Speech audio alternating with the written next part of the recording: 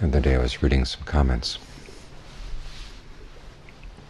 made by a Vipassana teacher who'd gone over to Asia and studied at a couple monasteries. And he commented, he said the lay people over there, as far as he could see, they didn't have much of a practice. They just came and supported the monastery. Which is a peculiar thing to say. As if Buddhist practice were just practicing mindfulness, practicing meditation. Supporting a monastery is also a practice, observing the precepts developing all sorts of good qualities in the mind. These are all part of the practice. When the Buddha gave his summary of the teachings, the not doing of any evil,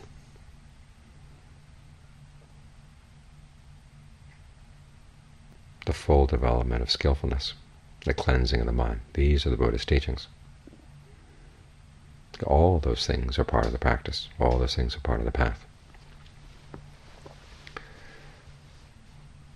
So it's important that we understand this, that we're not just here to meditate or to master the, the techniques. We're also here to develop good qualities in the mind all around. Because these are our treasures. The Buddha talks of them as treasures. The kind of treasure, he says, that fire can't burn, Water can't wash away. Thieves can't steal. And it may sound like spiritual materialism, but hey, it's better to be spiritually wealthy than spiritually poor. Because if you're spiritually poor, you look around for your happiness in other places. There's a traditional list of what the seven treasures are start with conviction. Conviction and the Buddha's awakening, conviction, and the principle of karma. You're convinced that the Buddha really did discover that there is a deathless, and there really is possible to do that through his. It was possible for him to do that through his own actions. That's his discovery of the fourth type of karma, the one that leads to the end of karma. That's what we're convinced really happened, that he was really able to do it, and it wasn't any special quality of his that pertained only to him alone that enabled him to do it. As he said, it was based on qualities of being resolute, ardent, mindful, all things that everybody can develop if they put their minds to it. So what this comes down to is you have to look very carefully at what you do all the time, because that's where you're going to learn this path.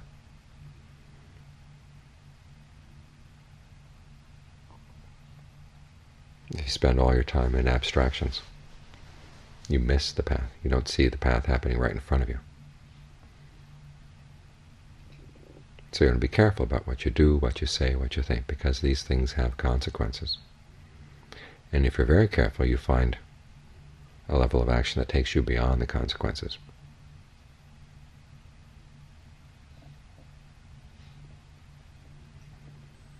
But in order to develop that sort of precision, that kind of skill, you have to work on ordinary, everyday actions, what you do, what you say, how you interact with other people around you, the work you take up around the monastery.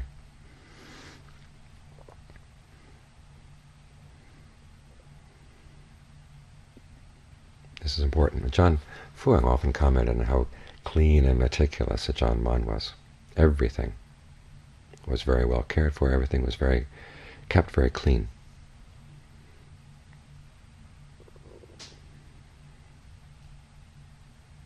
Even living out in the forest, especially living out in the forest. You've got to be clean and neat, because otherwise the forest starts taking over.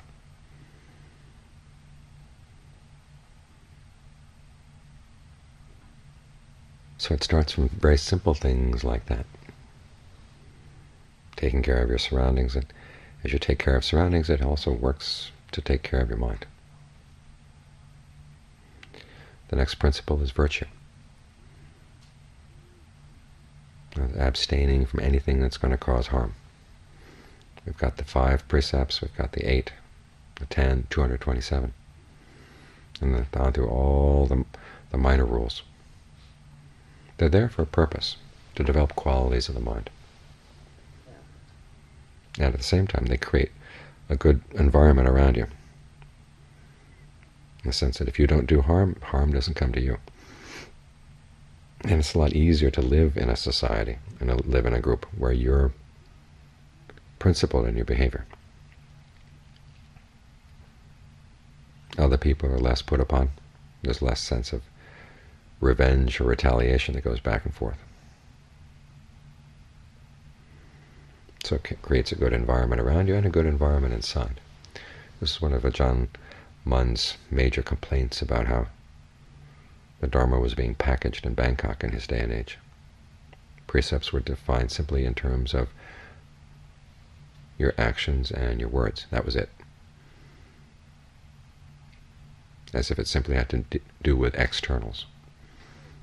As he pointed out many, many times, that the essence of virtue is in the intention. The intention is a quality of mind. Virtue is a quality of mind. So it's a quality you want to ensconce in your mind because it makes life easier for you and for the people around you. To back it up, there are two other treasures. Hiri, which is translated as shame. But it can also be translated as self-esteem in the sense that it's not that you're ashamed of yourself, but you regard yourself in a good light, such a good light that when lower behavior or lower thoughts occur to you, you realize that that's not becoming to you. You're above that. You would be ashamed to do those things. That's a quality of self-esteem, self-respect.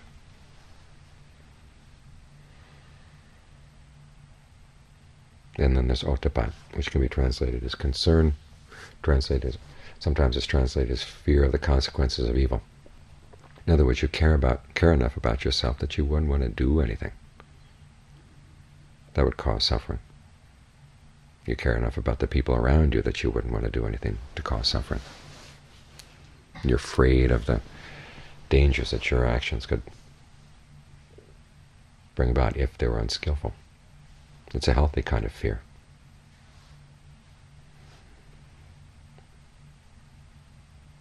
Another treasure is learning.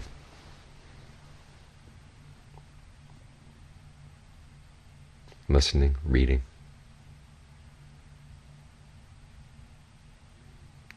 Learning what you can from the wisdom of the past. So that you don't have to keep reinventing the Dharma wheel all the time.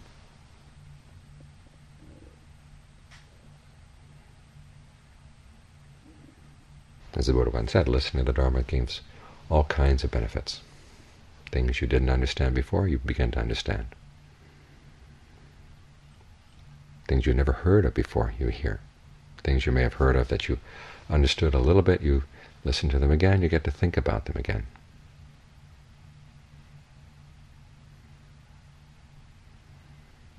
Your doubts are put to rest, your views are straightened out, and your mind becomes radiant. That's how you, those are the benefits that come listen, from listening to the real Dharma. In other words, it brings it your mind to peace. And not just in a soft, reassuring way. Sometimes it's kind of chastising. But again, there's a sense of peace that comes when you realize that you've been careless in your actions. And it's brought to your attention.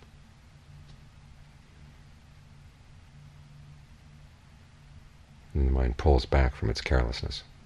That can also make the mind radiant.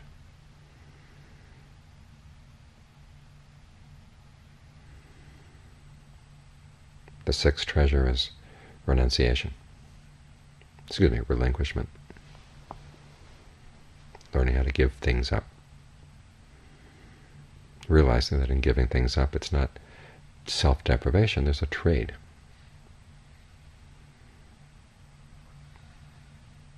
our different goals, our different aims in life can pull in lots of different directions.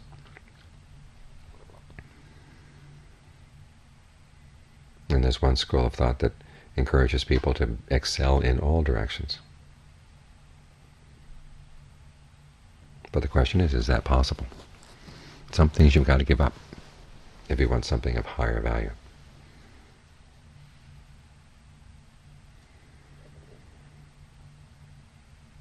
And particularly learning how to give up particular comforts, pastimes that waste your time in meditation. Because you don't want the habit of mind that's constantly looking for instant gratification. Or is always ready to relax all the time. You don't want that kind of habit to be in charge of your mind.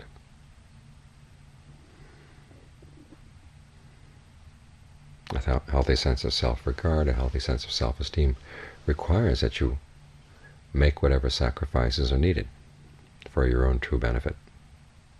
The clearer an idea you have of what really is your true benefit, the more obvious it becomes what things are getting in the way, what things are not, what things need to be given up, which chess pieces have to be sacrificed in order for you to reach checkmate.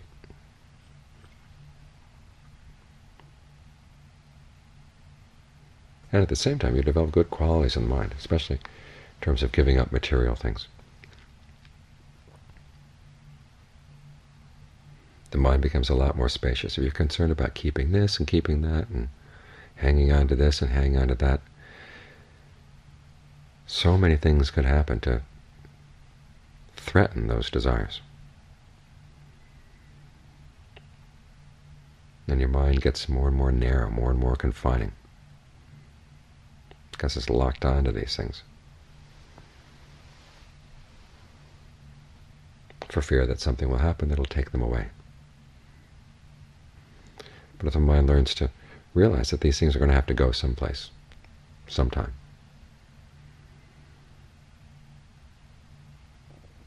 then that you gain the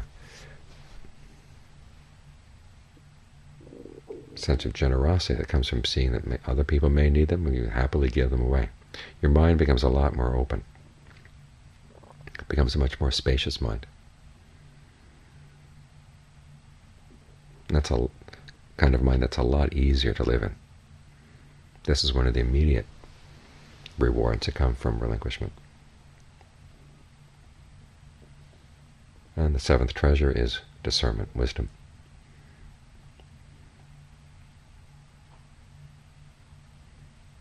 This is probably the most important of all seven. As Ajaan Lee once said, if you have wisdom and discernment, then if you're born poor, all you have is a machete to your name, he says.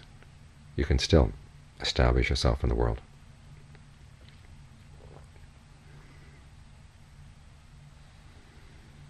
And on the other side, you've got, you've got all the advantages of the world in terms of birth, wealth, education. But if you don't have real discernment, real wisdom, those things can turn around and hurt you.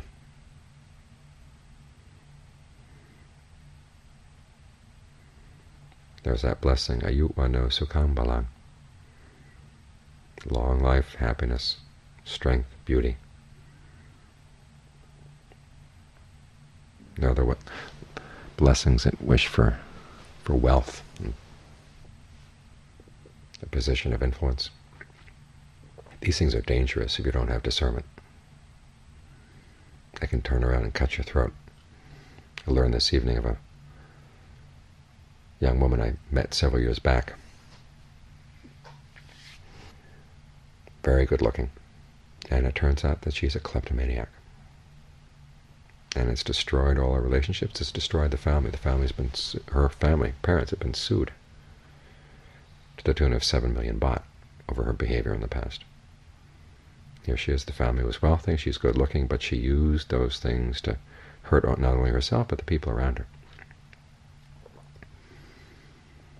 This is a case of what happens when you have the benefits of what's usually thought of as meritorious behavior, good, good, look, good looks, wealth.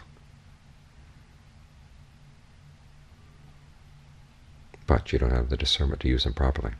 So this is what keeps all the other treasures safe keeps them in line so they don't turn on you.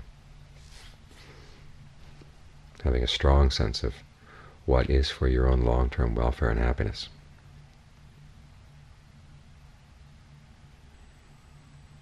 And learning to regard all the other things that come your way in the light of that insight. So when other things tempt you,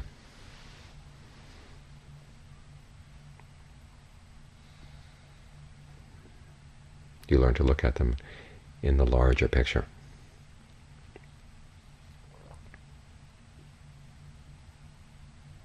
So when greed, anger, and delusion come, when lust and fear come, you don't believe them. You look, you, you find that these things focus on only a very narrow picture, a very narrow slice of life, and they almost willfully block out everything else, so that whatever you desire looks really good, or whatever you hate looks really bad.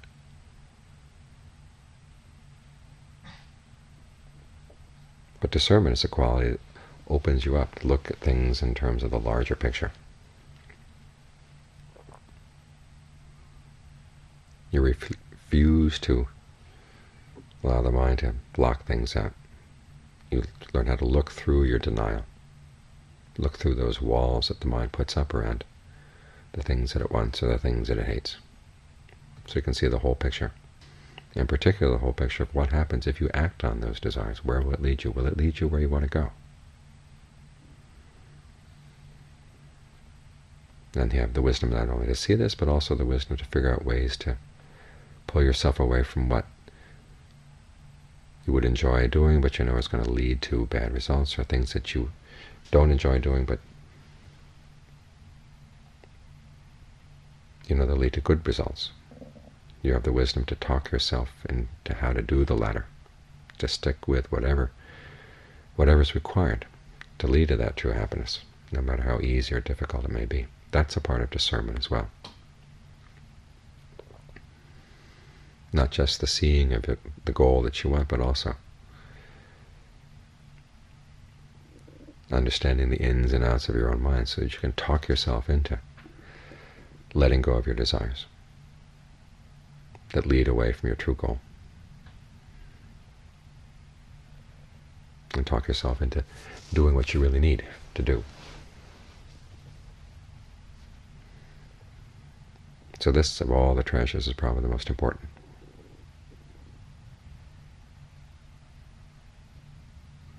But they all work together. It's important, it's important that you realize that anything you do that helps develop these qualities in your mind, that's all part of your practice. So you don't think the practice is just how you do when you're do doing formal meditation. It's the way you live your whole life.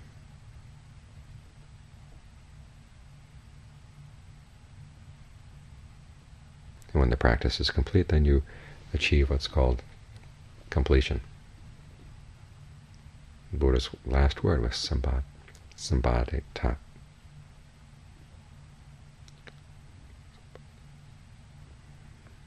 Become consummate. In other words, fulfilling the teachings in an all-around way, mastering them in an all-around way.